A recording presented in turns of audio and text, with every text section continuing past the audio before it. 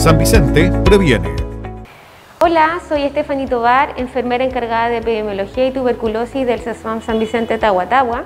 En primer lugar, queremos aclarar que nuestro CESFAM San Vicente está realizando los seguimientos a todos los casos sospechosos que están esperando su resultado de PCR para COVID y también a las personas que están confirmadas.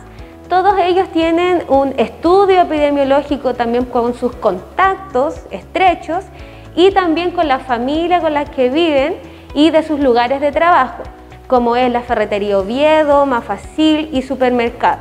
Eh, sabemos que es de preocupación para la comunidad, por eso eh, quiero también hablarles de que estas investigaciones sí se están realizando, sí se está haciendo y estamos en contacto estrecho también con Ceremi Salud para tomar eh, acciones.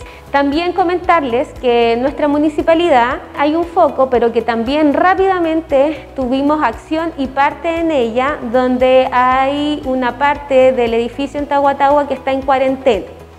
Esta cuarentena está hasta el momento, hasta el 25 de junio, Sabemos que el tema de la pandemia día a día va cambiando, por lo tanto día a día estamos evaluando esta situación si se prolonga o sigue hasta ese día. Estamos tomando, como le digo, todas las medidas preventivas para que todos podamos eh, disminuir el riesgo de contagio.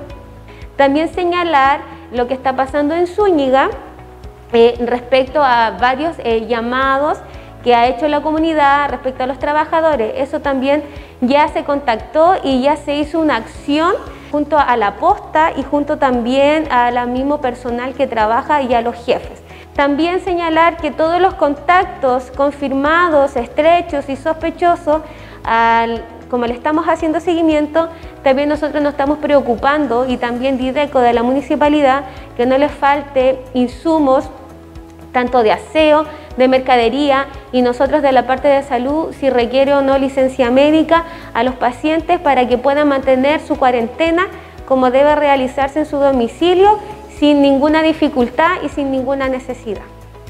Eso es lo que podemos comentar para que tengan un buen día.